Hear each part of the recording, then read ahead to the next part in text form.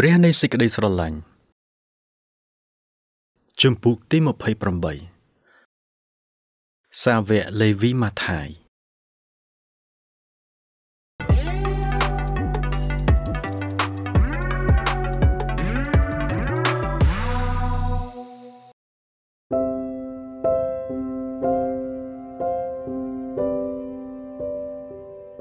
ក្នុងចំណោមពួករដ្ឋការរ៉ូមនៅប្រទេសប៉ាឡេស្ទីន គេស្អប់ពួកហូតពន្ធជាងគេបង្អស់ការដែលអំណាចបរទេសបានមកបង្ខិតបង្ខំឲ្យពួកយូដាបងពន្ធបានធ្វើឲ្យគេ ក្តៅក្រហាយឥតឈប់ឈរព្រោះវាគឺជាការរំលឹកថា ភាពឯករាជ្យរបស់ខ្លួនត្រូវបានឃ្លាតចេញពីខ្លួនហើយ ពួកប្រមូលពន្ធទាំងនោះមិនគ្រាន់តែជាឧបករណ៍នៃការជិះជាន់របស់ពួករ៉ូមប៉ុណ្ណោះទេ ពួកគេគឺជាអ្នកកំហែងយកប្រកាសរបស់បណ្ដាជន យកមានតែខ្លួនឯងប៉ុណ្ណោះ សាសយូដាម្នាក់ដែលទទួលតំណែងនេះពីពួករ៉ូមត្រូវបានគេចាត់ទុកថា គឺជាអ្នកក្បត់កិត្តិយសរបស់ជាតិខ្លួន ម្ល៉េះហើយគេស្អប់ខ្ពើមបុគ្គលនោះព្រោះគឺជាអ្នកក្បត់ជាតិហើយត្រូវបានគេចាត់ទុកថាស្ថិតនៅក្នុងវណ្ណៈដ៏អាក្រក់បំផុតនៅក្នុងសង្គមលេវីម៉ាថាយស្ថិតនៅក្នុងវណ្ណៈនេះឯងគាត់នឹងត្រូវបានហៅឲ្យបម្រើព្រះគ្រីស្ទដែរបន្ទាប់ពីសាវកទាំង4នៅស្រុកណាសារ៉េតពួកផារីស៊ី បានវិតម្លៃថោកមកលើម៉ាថាយតាមការងាររបស់គាត់ប៉ុន្តែ ព្រះយេស៊ូវបានទតឃើញថាបុរសនេះ មានចិត្តបើកចំហចាំទទួលសេចក្តីពិតម៉ាថាយបានស្ដាប់នៅសេចក្តីបង្រៀនរបស់ព្រះអង្គសង្គ្រោះបន្ទាប់ពីព្រះវិញ្ញាណរបស់ព្រះ បានបញ្ជាក់ឲ្យយល់ឃើញថា ខ្លួនពោពេញដោយបាបហើយម៉ាថាយក៏ទន្ទឹងចង់រកជំនួយពីព្រះគ្រីស្ទប៉ុន្តែគាត់មិនចូលចិត្តភាពបែងចែកវណ្ណៈរបស់ពួកគ្រូ បានជាគិតថា ព្រះបរមគ្រូនេះនឹងមិនមើលឃើញគាត់ឡើយ ថ្ងៃមួយ កាលគាត់កំពុងតែអង្គុយនៅឯតុយកពន្ធរបស់គាត់គាត់ក៏បានឃើញព្រះយេស៊ូវកំពុងយាងមក ហើយនៅពេលនោះក៏រំភើបចិត្តក្រៃលែងកាលដែលបានឮព្រះអង្គបានមានបន្ទូលមកកាន់គាត់ថាចូលមកតាមខ្ញុំម៉ាថាយក៏ទុករបស់ទាំងអស់ចោលក្រោកតាមទ្រង់ទៅ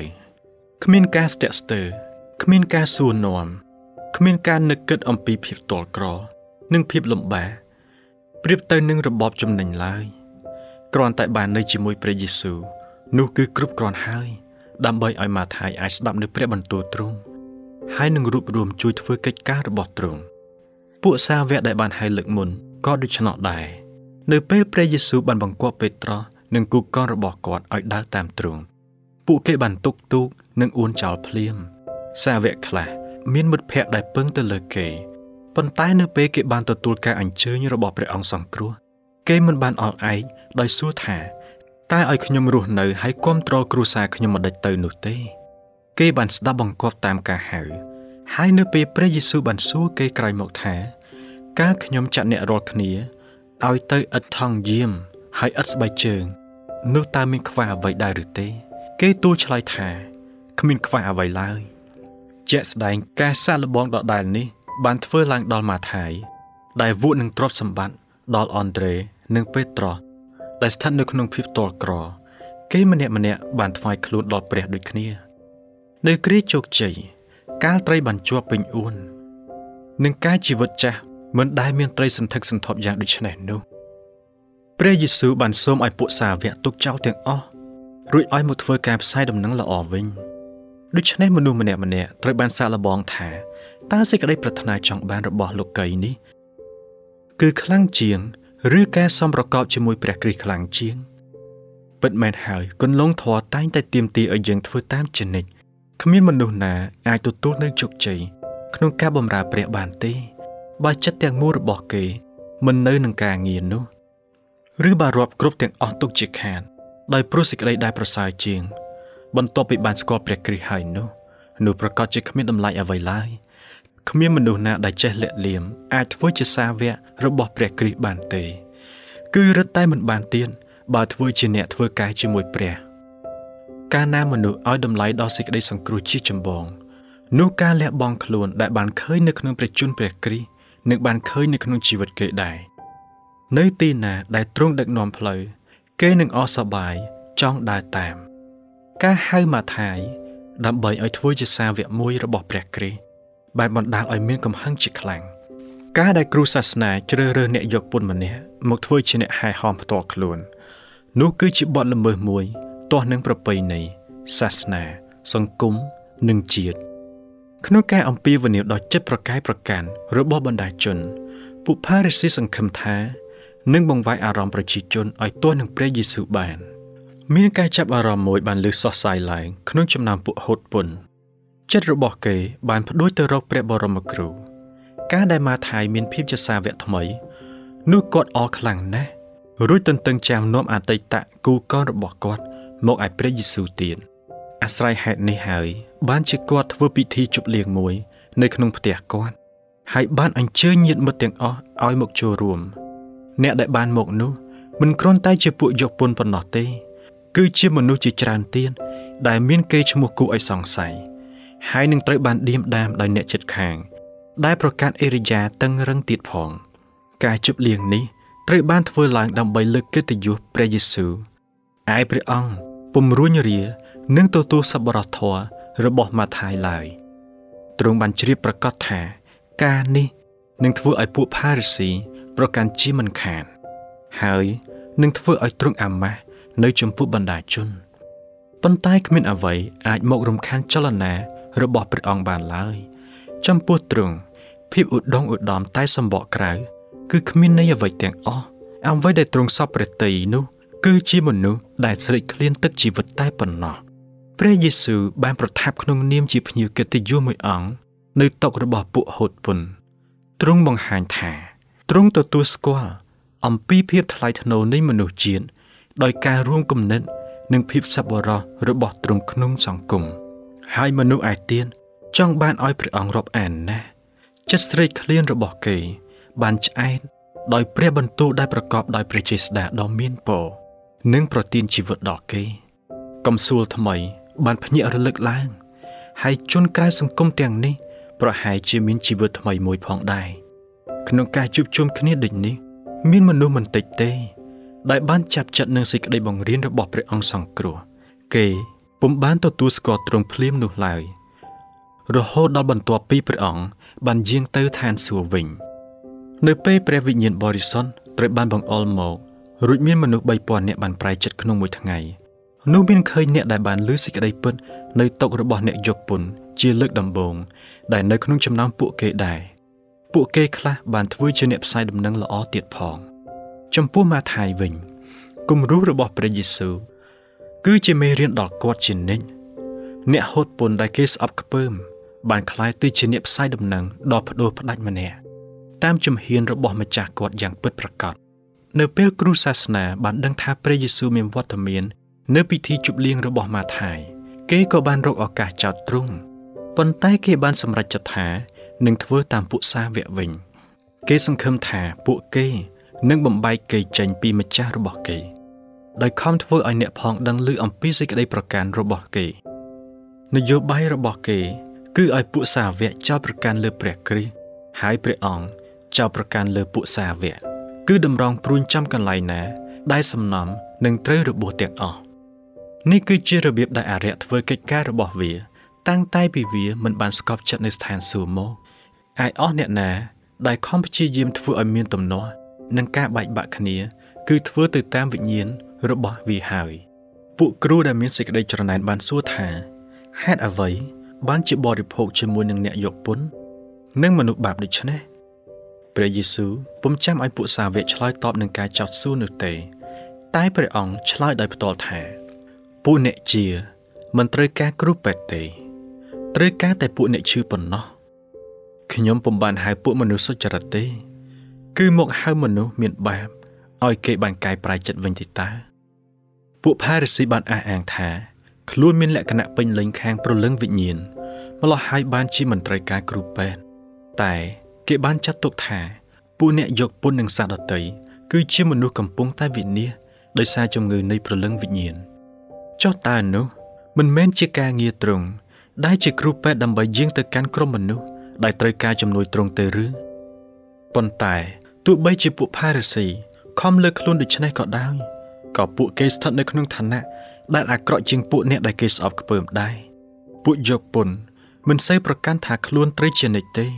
នឹងមិនសូវគិតថាខ្លួនមិនខ្វះខាតអ្វីនោះទេម្លោះហើយបានជាបើកចំហចិត្តដល់អធិពលនៃសេចក្តីពិតជាងឯព្រះយេស៊ូវវិញបានមានព្រះបន្ទូលទៅកាន់ពួកគ្រូថាចូលឲ្យអ្នករាល់គ្នា ទៅរៀននៃបទដែលថា អញចង់បានសេចក្តីមេត្តាករុណា មិនមែនចាញ់បូជាទេ ធ្វើដូច្នេះនោះទ្រង់បានបង្ហាញថា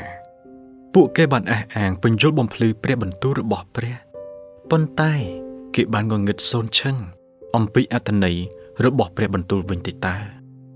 មែនហើយពួកផារីស៊ីក៏បាត់ស្ងាត់មួយរយៈទៅប៉ុន្តែគេបានតាំងចិត្តជាខ្មាំងសត្រូវឬតែខ្លាំងឡើងប្រឆាំងទាស់នឹងព្រះយេស៊ូវបន្ទាប់មក គេទៅរកសាវករបស់យ៉ូហានបាទីចង់ធ្វើឲ្យគេជំទាស់នឹងទ្រង់វិញ ពួកផារីស៊ីទាំងនោះមិនបានទទួលស្គាល់បេសកកម្មរបស់យ៉ូហានបាទីទេ ជាក់ស្ដែងគឺគេបានចំអកឡកលើយដល់ជីវិតអត់តមរបស់គាត់ដល់ទំនាប់ងាយស្រួលដល់សម្លៀកបំពាក់រិចរិលរបស់គាត់ហើយបានប្រកាសថាគាត់គឺជាមនុស្សជឿសុខហួសហេតុម្នាក់ដោយសារតែព្រះអង្គបានផ្ចាញ់ផ្ចាលដល់កម្ពុតរបស់គេ គេក៏បានជំនះនឹងព្រះបន្ទូលទ្រង់រួចខំបំផុសបំផុតបណ្ដាជនឲ្យជំទាស់នឹងទ្រង់ព្រះវិញ្ញាណរបស់ព្រះ បានធ្វើការក្នុងចិត្តអ្នកចំអកទាំងនោះ ធ្វើឲ្យគេដឹងថា ខ្លួនគេមានបាបតែគេមិនបដិសេធអវាទរបស់ព្រះ បានជាប្រកាសថាយ៉ូហានមានអរិយចូលឥឡូវនេះ នៅពេលព្រះយេស៊ូវបានចូលប្រឡូកជាមួយបណ្ដាជន ទាំងសោយព្រះស្ញោយនិងទឹកនៅលើតុរបស់គេ គេក៏បានចោទទ្រង់ថាជាមនុស្សល្មោបអាហារនិងមនុស្សល្មោបស្រា អ្នកដែលចោទនោះ គឺជាអ្នកមានកំហុសខ្លួនឯងគេបានមូលបង្កាច់ព្រះ ថែមទាំងថា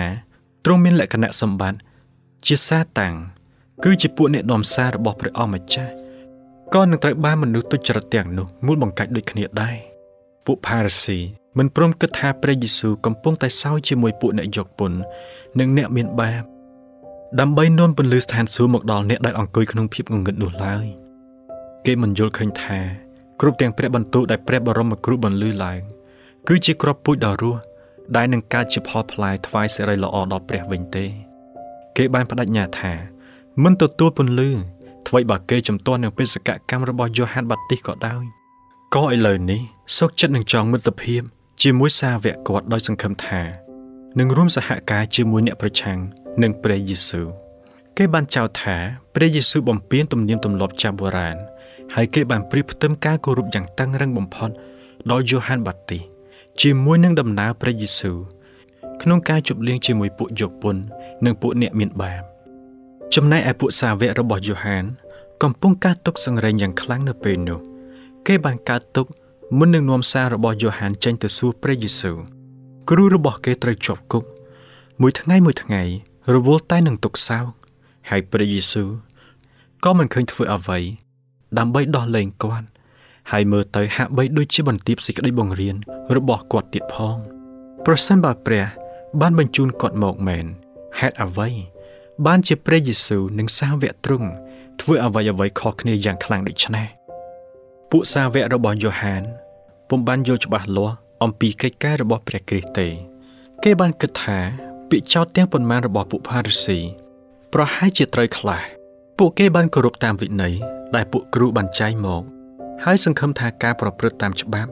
នឹងធ្វើឲ្យគេបានសុចរិតពួកយូដាអនុវត្តតាមការតមអត់ទុកជាគុណធម៌មួយឯអ្នកដែលតឹងរឹងជាងគេបំផុតគឺតម2ថ្ងៃក្នុងមួយសប្តាហ៍ពួកផារីស៊ីនិងសាវករបស់យ៉ូហាន បានតមអាហារពួកសាវកយ៉ូហានក៏បានមកកាន់ព្រះយេស៊ូវ រួចទូលសួរថាហេតុអ្វីបានជាយើងខ្ញុំ និងពួកផារីស៊ីតមជាញយញយតែពួកសិស្សទ្រង់វិញមិនដែលតមសោះយ៉ាងដូច្នេះពេលនោះព្រះយេស៊ូវក៏បានឆ្លើយដោយទន់ភ្លន់ទៅគេវិញព្រះអង្គពុំបានកែដំណើរយល់ខុសអំពីដំណំនោះទេ តែគ្រាន់តែធ្វើឲ្យគេយល់អំពីបេសកកម្មរបស់ទ្រង់ផ្ទាល់ប៉ុណ្ណោះទ្រង់ធ្វើដូច្នេះដោយប្រើការប្រៀបធៀបដដែលដែលយ៉ូហានបាទីសប្រើ ក្នុងការធ្វើទីបន្ទាល់អំពីព្រះយេស៊ូវយ៉ូហានមានប្រសាសន៍ថា អ្នកណាដែលយកប្រពន្ធនោះឈ្មោះថាជាប្តីហើយឯពួកមិត្តសម្លាញ់ដែលឈរស្ដាប់គាត់កំពុងតែរៀបការនោះក៏មានសេចក្តីអំណរអរឡើងដោយសារសម្លេងប្តីគឺយ៉ាងនោះឯងដែលសេចក្តីអំណររបស់ខ្ញុំបានពោពេញហើយមែនហើយពួកសាវករបស់យ៉ូហាននឹងនឹកចាំអំពីពាក្យសម្ដីរបស់គ្រូខ្លួនមិនខានឡើយ កាលព្រះយេស៊ូវបញ្យល់ដោយមានបន្ទូលថា ពេលដែលប្តីថ្មងថ្មីកំពុងតែនៅជាមួយគ្នាតើអាចនឹងឲ្យសម្លាញ់គាត់តមអាហារបានដែរឬទេនៅត្រង់នេះព្រះអម្ចាស់នៃនគរស្ថានសួគ៌បានគង់នៅជាមួយរាជទ្រង់អំណោយដ៏ធំបំផុតរបស់ព្រះគឺត្រូវបានប្រទានដល់ពិភពលោកហើយ មានអំណរហើយជនក្រីក្រអើយព្រោះព្រះគ្រីស្ទបានយាងមកដើម្បីយកគេឲ្យក្រុងនគរទ្រង់ជាមរតក ទ្រង់នឹងធ្វើឲ្យគេឆ្លាត ដើម្បីឲ្យបានសង្គ្រោះ មានអំណរហើយ អ្នកចេះដឹងអើយព្រោះទ្រង់នឹងបើកអាចកំបាំងដែលលាក់ជ្រៅឲ្យយល់ហួសពីការស្មានដល់ទៀតផងសេចក្តីពិត ដែលបានលាក់ទុកតាំងតែពីដើមកំណើតលោកីនឹងត្រូវបានបើកចំហឲ្យមនុស្សឃើញ ដោយបេសកកម្មរបស់ព្រះអង្គសង្គ្រោះយ៉ូហានបាទី បានអរណាស់កាលបានឃើញព្រះយេស៊ូវនោះតើមិនមែនជាឱកាសអសប្បាយទេឬអី ចំពោះពួកសាវករបស់យ៉ូហាន ដែលមានបុព្វសិទ្ធនឹងដើរហើយសន្ទនាជាមួយព្រះមហាក្សត្រនៃស្ថានសួគ៌នោះនេះមិនមែនជាពេលសម្រាប់កាន់ទុកនិងតមអាហារនោះទេ គេត្រូវបើកចិត្តដើម្បីទទួលពន្លឺនៃសេរីល្អរបស់ទ្រង់ប្រយោជន៍ឲ្យគេអាចជាពន្លឺដល់អ្នកដែលអង្គុយនៅក្នុងទីងងឹតនិងនៅក្នុងស្រមោលនៃសេចក្តីស្លាប់ព្រះបន្ទូលរបស់ព្រះគ្រីស្ទដែលបានបន្លឺឡើងនោះ គឺជារូបភាពដ៏ភ្លឺចាំងមួយ ប៉ុន្តែហួសពីនេះទៅទៀតនោះ គឺមានស្រមោលងងឹតមួយ មានតែព្រះនេត្រទ្រង់ទេ ដែលអាចយល់ឃើញទ្រង់មានបន្ទូលថានឹងមានថ្ងៃមកដល់កាលនោះប្តីនឹងត្រូវដកយកចេញពីគេទៅ នៅគ្រានោះគេនឹងតមវិញមែនហើយ នៅពេលគេឃើញព្រះអង្គម្ចាស់របស់ខ្លួនត្រូវបានគេក្បត់នឹងត្រូវឆ្កាងនោះ ពួកសាវកនឹងកាន់ទុកហើយតមអត់នៅក្នុងព្រះបន្ទូលចុងក្រោយ នៅឯបន្ទប់ខាងលើ ព្រះយេស៊ូវបានមានព្រះបន្ទូលថា នៅបន្តិចទៀតនឹងលែងឃើញខ្ញុំរួចបន្តិចទៅទៀតនឹងឃើញខ្ញុំវិញប្រកាសមែនខ្ញុំប្រាប់អ្នករាល់គ្នាជាប្រកាសថា អ្នករាល់គ្នានឹងយំហើយសោកសង្រេងតែលោកីនឹងអសប្បាយឡើង អ្នករាល់គ្នានឹងព្រួយចិត្តតែសេចក្តីព្រួយរបស់អ្នករាល់គ្នានឹងប្រែទៅជាសេចក្តីអំណរទៅវិញ នៅពេលដែលព្រះអង្គយាងចេញពីភ្នំមក ទុកព្រួយទាំងប៉ុន្មានរបស់គេនឹងត្រូវប្រែទៅជាសេចក្តីអំណរវិញបន្ទាប់ពីព្រះអង្គយាងទៅឯស្ថានលើទ្រង់ពុំមានវត្តមានផ្ទាល់ទេប៉ុន្តែតាមរយៈអ្នកជំនួយដ៏ជាព្រះវិញ្ញាណបរិសុទ្ធរបស់ទ្រង់នោះគឺទ្រង់គង់នៅជាមួយពួកគេដដែលហើយគេនឹងមិនចំណាយពេលសោកសង្រេងទៀតឡើយសាតាំងវាចង់ឲ្យពួកគេធ្វើដូច្នេះឯងវាចង់ឲ្យគេប្រាប់ដល់លោកីថា ពួកខ្លួនបានខកចិត្តព្រមទាំងត្រូវបានគេបញ្ឆោត ប៉ុន្តែគេត្រូវមើលទៅឯរោងអបអសុតនៅខាងលើដោយសេចក្តីជំនឿគឺជាកន្លែងដែលព្រះយេស៊ូវកំពុងតែធ្វើការឲ្យគេ គេត្រូវបើកចិត្តឲ្យព្រះវិញ្ញាណបរិសុទ្ធដែលជាតំណាងទ្រង់ហើយត្រូវអសប្បាយនៅចំពោះវត្តមានរបស់ទ្រង់តែគ្រាលបួងលបងនិងគ្រាវេទនានឹងមកដល់នៅពេលដែលគេត្រូវប៉ះទង្គិចជាមួយពួកអ្នកកាន់ក្តាប់ពិភពនេះ និងពួកមេដឹកនាំនៃនគรงងឹត គ្រានោះនឹងមកដល់នៅពេលព្រះគ្រីស្ទពុំបានគង់នៅជាមួយពួកគេផ្ទាល់ហើយគេក៏មិនបានយល់អំពីព្រះអង្គជំនួយ នោះទើបជាគ្រាដែលសមនឹងតំអត់យ៉ាងពិតមែនពួកផារីស៊ីខំលើកដំកើងខ្លួនឯងដោយសារការគោរពដល់ទម្រង់សាសនាដ៏តឹងតែងបំផុត តែចិត្តរបស់ពួកគេគឺពោពេញទៅដោយសេចក្តីច្រណែនឈ្នាននេះនិងសេចក្តីទាស់តែងបទគម្ពីរបានចែងថា មើលឯងរាល់គ្នាតอมអន់ឲ្យតែបានរឿងជជែកនិងការទាស់តែងគ្នា ហើយវិដំដោយអំពើអាក្រក់ប៉ុណ្ណោះការដែលឯងតอมអត់នោះ គឺមិនមែនមានប្រយោជន៍ឲ្យសំឡេងឯងបានលឺទៅដល់ស្ថានលើឡើយតើជាការតอมអន់បែបយ៉ាងណានោះ គឺជាថ្ងៃដែលមនុស្សបញ្ឈឺចិត្តខ្លួនដូច្នេះដែលជាទីពេញចិត្តដល់អញឬដែលគ្រាន់តែអោនក្បាល ដូចជាដើមបបោះហើយក្រាលសម្ពុតថ្មីនឹងរយផេះនៅក្រោមខ្លួនតើលមមប៉ុណ្ណោះឬនេះឬដែលឯងហៅថា ការតមអន់ជាថ្ងៃដែលគួរឲ្យព្រះយេហូវ៉ាសពព្រះハរតីនោះ ការតមពិតប្រកបពុំមែនជាការធ្វើតាមក្បួននោះទេបទគម្ពីរចែកអំពីការតមដោយព្រះបានជ្រើសរើសឲ្យពលគឺឲ្យដោះក្រវ៉ាត់ដែលឯងដាក់គេ ដោយអំពើអាក្រក់ឲ្យស្រ័យចំណង ដែលឯងបានចងគេ ហើយឲ្យអ្នកដែលឯងបានសង្កត់សង្កិនបានរួចចេញទៅទេព្រមទាំងបំបាក់គ្រប់ទាំងនឹមផងឲ្យផ្ដល់សេចក្តីសប្បុរសដល់មនុស្សស្រេកឃ្លាន ទាំងចំអែតចិត្តនៃអ្នកដែលរងទុក្ខវេទនានេះគឺជាការចែងយ៉ាងច្បាស់អំពីអេរិយានិងចរិតលក្ខណៈនៃការងាររបស់ព្រះគ្រីស្ទព្រះជន្មទាំងមូលរបស់ទ្រង់គឺជាការលះបង់សម្រាប់សង្គ្រោះពិភពលោកព្រះអង្គប្រទានព្រះជន្មទ្រង់សម្រាប់ប្រោះលួសអ្នកបាត់បង់ បើទោះជាតបនៅទីរហោស្ថាននៃការលបួងឬសោយជាមួយពួកយកពន្ធនៅក្នុងពិធីជប់លៀងរបស់ម៉ាថាយក្តីអេរិយានៃការបូជាពិតប្រាកដ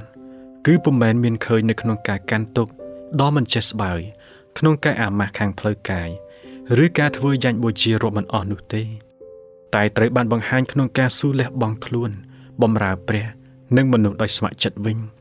ក្នុងការបន្តឆ្លើយតបដល់ពួកសាវករបស់យ៉ូហាន ព្រះយេស៊ូវបានមានបន្ទូលជាពាក្យប្រៀបធៀបមួយថាគ្មានអ្នកណាដែលយកកំណាត់ថ្មី មកប៉ះអាវចាស់ទេ បើធ្វើដូច្នោះនឹងនាំឲ្យរហែកដល់ទាំងកំណាត់ថ្មីដែរហើយកំណាត់ដែលយកពីអាវថ្មីក៏មិនសមនឹងអាវចាស់ផង ពិតមែនហើយ គឺមិនត្រូវយកព្រះរាជសាររបស់យ៉ូហានបាទីសមកចាក់ស្រេះជាមួយទំនៀមទម្លាប់ឬជំនឿអកុសលឡើយ ការព្យាយាមលាសេចក្តីពុតត្បុតរបស់ពួកផារីស៊ីជាមួយនឹងការបូជារបស់យ៉ូហាននឹងគ្រាន់តែធ្វើឲ្យឃើញប្រហោងធ្លុះធ្លាយតែប៉ុណ្ណោះវាមិនបានជួយអ្វីឡើយយ៉ាងណាមិញគុណលងធម៌ទាំងប៉ុន្មាន ដែលព្រះគ្រីស្ទបង្រៀនក៏មិនអាចបង្រួមចូល ជាមួយទម្រង់ទាំងឡាយរបស់លទ្ធិផារីស៊ីនិយមដែរព្រះគ្រីស្ទក៏ពុំត្រូវប៉ះបំណាស់ដែលបានធ្លុះធ្លាយដោយសារសេចក្តីបង្រៀនរបស់យ៉ូហានដែរ ទ្រង់នឹងធ្វើឲ្យគេឃើញយ៉ាងច្បាស់ថា ភាពចាស់គឺខុសគ្នានឹងភាពថ្មីទ្រង់បានបញ្យល់បន្តទៀតថាក៏គ្មានអ្នកណា ដែលយកស្រាទំពាំងបាយជូរថ្មី ដាក់ក្នុងថង់ស្បែកចាស់ដែរបើធ្វើដូច្នោះស្រាទំពាំងបាយជូរថ្មីនឹងទម្លាយថង់ស្បែកហូរចេញមកហើយថង់ស្បែកក៏ត្រូវខូចខាតផងថង់ស្បែកដែលគេប្រើសម្រាប់ដាក់ស្រាថ្មីនឹងទៅជាស្ងួតហើយស្រួយបន្ទាប់ពីប្រើមួយរយៈមក ហើយក្រោយមកប្រើការលែងកើតយ៉ាងណាមិញព្រះយេស៊ូវបានយកឧទាហរណ៍ស្រដៀងគ្នានេះមកបញ្យល់អំពីស្ថានភាពរបស់ពួកដឹកនាំយូដាពួកសង្ឃពួកអាចារ្យនិងពួកដឹកនាំបានតោងស្អិតទៅនឹងសាសនា ពិធីនិងទំនៀមទម្លាប់ចិត្តរបស់គេបានคล้ายទៅជារួញស្វិតដូចជាថង់ស្បែកដាក់ស្រាដែលស្ងួតនោះដែរក្នុងពេលដែលគេស្កប់ស្កល់នឹងសាសនាដែលខ្លួនកាន់តាមច្បាប់យ៉ាងតឹងរឹងនោះ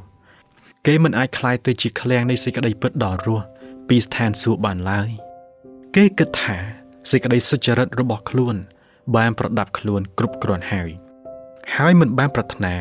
ចង់ឲ្យធាតថ្មីមួយនាំចូលមកក្នុងសាសនារបស់ខ្លួនទេ គេមិនបានទទួលបំណងល្អរបស់ព្រះទៅកាន់មនុស្សទុកជាការមួយដែលខុសស្រឡះពីខ្លួនគេទេ គឺគេបែរជាប្រៀបធៀបទៅនឹងគុណសម្បត្តិរបស់ខ្លួនវិញ ដោយព្រោះតែអំពើល្អរបស់គេ ដែលគេបានធ្វើជំនឿដែលប្រព្រឹត្តទៅ ដោយសេចក្តីស្រឡាញ់ហើយថែមទាំងសម្រាំងជីវិតឲ្យបរិសុទ្ធមិនអាចមានសហភាពជាមួយសាសនារបស់ពួកផារីស៊ីដែលមានសតែពិធីបុណ្យនិងច្បាប់ទម្លាប់របស់មនុស្សឡើយការព្យាយាមខំបង្រួបបង្រួមសេចក្តីបង្រៀនរបស់ព្រះយេស៊ូវជាមួយសាសនា ដែលបានស្ថាបនាឡើងហើយនោះនឹងទៅជាការឥតប្រយោជន៍ រីឯសេចក្តីពិតដ៏ស្លាប់រស់របស់ព្រះ គឺប្រៀបដូចជាស្រាមានដំបាយដែរដែលនឹងទម្លាយថងស្បែកចាស់នៃទំនៀមទម្លាប់របស់ពួកផារីស៊ីវិញ។ពួកផារីស៊ីគិតថាខ្លួនគេមានប្រាជ្ញាខ្លាំងណាស់គឺមិនចាំបាច់ត្រូវការការបង្ហាត់បង្រៀនអ្វីទេ ពួកគេសុចរិតខ្លាំងណាស់ហើយក៏មិនចាំបាច់ត្រូវការនឹងសេចក្តីសង្គ្រោះដែរ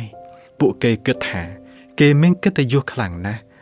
ហើយក៏មិនចាំបាច់ត្រូវការកិត្តិយសអ្វី ពីព្រះគ្រីស្ទនោះទេព្រះអង្គសង្គ្រោះក៏ងាកចេញពីពួកគេ ទៅរកអ្នកដទៃទៀតដែលនឹងទទួលព្រះរាជសារនៃស្ថានសួគ៌ថង់ស្បែកថ្មីសម្រាប់ដាក់ស្រាថ្មី របស់ព្រះយេស៊ូវគឺជាពួកអ្នកសាត្រី ដែលមិនបានរៀនសូត្រគឺជាពួកអ្នកយកពន្ធនៅឯទីផ្សារគឺជាស្ត្រីសាសសាមារី គឺជាពួកបណ្ដាជនសាមញ្ញដែលស្ដាប់ទ្រង់ទាំងអំណរឯនោះទៅវិញទេ ឧទាហរណ៍ទាំងឡាយដែលត្រូវបានប្រែសម្រាប់ការងារផ្សាយដំណឹងល្អគឺអស់អ្នកដែលរីករាយនឹងទទួលពន្លឺ ដែលព្រះបញ្ជូនមកឲ្យគេនោះឯងពួកអ្នកទាំងនេះហើយ គឺជាភ្នាក់ងាររបស់ព្រះយេស៊ូវគ្រីស្ទក្នុងការចែករំលែកចំណេះវិជ្ជានៃសេចក្តីពិតទៅដល់ពិភពលោកប្រសិនបើបណ្ដារាជទ្រង់នឹងបានคล้ายទៅជាថង់ស្បែកថ្មីដោយព្រះគុណព្រះគ្រីស្ទនោះទ្រង់នឹងបំពេញពួកគេដោយសារថ្មីជាមិនខាន សេចក្តីបង្រៀនរបស់ព្រះគ្រីស្ទអ្វីត្បិតតែជាតំណាងដោយសារថ្មីក៏ដោយក៏មិនមែនជាលទ្ធិថ្មីដែរតែជាការបើកសម្ដែងនៃអ្វីដែលបានបង្រៀនតាំងតែពីដើមមកប៉ុន្តែចំពោះពួកផារ៉ាស៊ីវិញសេចក្តីពិតរបស់ព្រះត្រូវបានបាត់បង់សារៈសំខាន់និងសម្ផស្សដើមអស់ទៅហើយចំពោះពួកគេសេចក្តីបង្រៀនរបស់ព្រះគ្រីស្ទគឺថ្មីថ្មោងស្ទើរតែគ្រប់ចម្ពោះទាំងអស់ ម្ល៉េះហើយបានជាគេមិនទទួលស្គាល់ព្រះយេស៊ូវបានចង្អុលបង្ហាញអំពីអំណាចនៃសេចក្តីបង្រៀនខុសឆ្គងដែលមកបំភ្លេចបំផ្លាញការអបអរសាទរនៃសេចក្តីពិត និងការប្រាថ្នាចង់បានសេចក្តីពិតទ្រង់បានមានបន្ទូលថាលួសកាលបានផឹកស្រាទំពាំងបាយជូរចាស់ហើយគ្មានអ្នកណាចង់បានថ្មីទេត្បិតគេថាចាស់ឆ្ងាញ់ជាង ពិតមែនហើយសេចក្តីពិតទាំងអស់ដែលបានប្រទានមកដល់ពិភពលោកតាមរយៈពួកអាយកោ និងពួកហោរា បានបញ្ចេញនូវសម្ផស្សថ្មីមួយ ក្នុងព្រះបន្ទូលរបស់ព្រះគ្រីស្ទប៉ុន្តែពួកអាចារ្យនិងពួកផារ៉ាស៊ីវិញគឺគ្មានសេចក្តីប្រាថ្នាចង់បានស្រាទំពាំងបាយជូរថ្មីដល់វិសេសវិសានោះឡើយបើទំនៀមទម្លាប់ចាស់ប្រពៃណីចាស់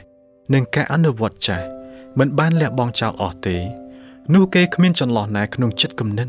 សម្រាប់ដាក់សេចក្តីបង្រៀនរបស់ព្រះគ្រីស្ទឡើយគេតោងជាប់ទៅនឹងទម្រង់ឥតជីវិតទាំងប៉ុន្មាន ហើយបានងាកចេញពីសេចក្តីពិតដ៏មានជីវិតនិងប្រជាស្ដាររបស់ព្រះវិញ គឺសេចក្តីនេះហើយ ដែលសរឲ្យឃើញនៅមហន្តរាយរបស់ពួកយូដានិងមនុស្សជាច្រើននៅក្នុងចំនួនយើងនេះមនុស្សរាប់ពាន់នាក់កំពុងតែធ្វើកំហុសដដែលដដែលដូចជាពួកផារ៉ាស៊ីដែលព្រះគ្រីស្ទបានស្ដីបន្ទោសនៅឯពិធីជប់លៀងរបស់ម៉ាថាយជាជាងការលះបង់គំនិតដែលខ្លួនខំអោបក្រសោបឬជំរុះចោលនៅយោបល់ណាមួយដែលខ្លួនពេញចិត្ត នោះមនុស្សជាច្រើនបានបដិសេធសេចក្តីពិតដែលបានចោះមកពីព្រះវរបិតានៃពន្លឺទៅវិញគេបានទុកចិត្តខ្លួនឯងហើយពឹងផ្អែកទៅលើប្រាជ្ញារបស់ខ្លួនទាំងមិនដឹងថាខ្លួនទាល់ក្រខាងព្រលឹងវិញ្ញាណនោះឡើយគេខំជំនះថានឹងបានសង្គ្រោះតាមមធ្យោបាយណាមួយជាមិនខានព្រោះបានធ្វើការសំខាន់ខ្លះខ្លះដែរកាលណាគេឃើញថាគ្មានផ្លូវណា ដែលខ្លួនអាចធ្វើនោះបាន នោះគេក៏បដិសេធសេចក្តីសង្គ្រោះដែលបានប្រទានមក សាសនាដែលកាន់យ៉ាងតឹងតែង តាមច្បាប់នោះមិនដែលនាំមនុស្សមកឯព្រះគ្រីស្ទឡើយព្រោះវាគ្មានសេចក្តីស្រឡាញ់គ្មានសាសនាព្រះគ្រីស្ទទាល់តែសោះការតមនិងការអធិដ្ឋាន ដែលធ្វើឡើងដោយមានអេរិយាចង់បង្ហាញថាខ្លួនសុចរិតគឺជាអំពើដ៏ស្អប់ខ្ពើមបំផុតនៅចំពោះព្រះភ័ក្ត្រព្រះ ការប្រជុំគ្នាថ្វាយបង្គំយ៉ាងស្រគត់ស្រគំពិធីបុណ្យសាសនាជាច្រើនលើកច្រើនសាអិតជប់ឈរ ការបន្ទាបខ្លួនតែពីសម្បកក្រៅការធ្វើយ៉ាញ់បូជាដើម្បីតែការសម្ដែង គឺកំពុងតែប្រកាសថា អ្នកធ្វើការទាំងអស់នេះចាត់ទុកខ្លួនជាមនុស្សសុចរិតដែលសមនឹងបានទៅស្ថានសួគ៌ប៉ុន្តែត្រូវដឹងថា ទាំងអស់នេះ គឺសុទ្ធតែជាការបោកបញ្ឆោតសុទ្ធសាធការប្រព្រឹត្តរបស់យើងនឹងមិនដែលទិញសេចក្តីសង្គ្រោះឡើយនៅចំនួនព្រះគ្រីស្ទយ៉ាងណា នៅចំនួនយើងក៏យ៉ាងដូច្នោះដែរពួកផារីស៊ី មិនដឹងអំពីកង្វះខាត ខាងព្រលឹងវិញ្ញាណទេ ព្រះរាជសារនេះ គឺសម្រាប់ពួកគេ ដោយព្រោះឯងអួតថាឯងជាអ្នកមាន បានកាន់តែស្ដុកស្ដំឡើងហើយក៏មិនត្រូវការនឹងអ្វីសោះតែឯងមិនដឹងថាឯងវេទនា លំបាកស្ទាល់ក្រ ខ្វាក់ភ្នែកហើយអាក្រាតវិញនោះទេ តែឯងបានជាអញទូមានឲ្យឯងទិញមាសដែលសម្រងក្នុងភ្លើងអំពីអញ ដើម្បីឲ្យបានធ្វើជាអ្នកមានពិតមែនហើយទិញសម្លៀកបំពាក់សឲ្យបានស្លៀកពាក់កុំឲ្យគេឃើញគេខ្មាស់ដែលឯងនៅអាក្រាតនោះដែរសេចក្តីជំនឿនិងសេចក្តីស្រឡាញ់គឺជាមាសដែលបានសម្រងក្នុងភ្លើងប៉ុន្តែចំពោះមនុស្សជាច្រើន មាសបានคล้ายទៅជាស្រអាប់វិញ ហើយកំណប់ទ្រាំដ៏មានតម្លៃត្រូវបានបាត់បង់អស់ចំពោះពួកគេសេចក្តីសុចរិតរបស់ព្រះគ្រីស្ទ ប្រៀបដូចជាប្រភពទឹកដែលមិនបានដងយកមកប្រើយ៉ាងដូច្នោះដែរមានចែងយ៉ាងដូចនេះដល់ពួកគេថាអញប្រកាសសេចក្តីនេះនឹងឯងគឺថាឯងបានបោះបង់ចោលសេចក្តីដើមចេញដូច្នេះជួលនឹកចាំដែលឯងបានធ្លាក់ចេញពីសន្តានណានោះ ហើយប្រែចិត្តចោះរួចប្រព្រឹត្តតាមការដឹងដំបូងនោះវិញពុំនោះសោតអញនឹងមកឯឯងហើយនឹងហូតយកជើងចង្គៀងឯងពីកន្លែងចេញ លើកលែងតែឯងប្រែចិត្តឡើងវិញពិតមែនហើយ ដងវាយដែលគួរថ្វាយដល់ព្រះនោះគឺជាវិញ្ញាណខ្ទេចខ្ទាំអោព្រះអង្គអើយទ្រង់មិនមើលងាយចំពោះចិត្តខ្ទេចខ្ទាំហើយទុនទៀបឡើយមនុស្សត្រូវបន្សល់ឲ្យខ្លួននៅទទេមុននឹងធ្វើជាអ្នកជឿព្រះយេស៊ូវឲ្យបានពេញលក្ខណៈបាន កាលណាបានលះបង់អាត្មាចោលហើយនោះព្រះយេហូវ៉ា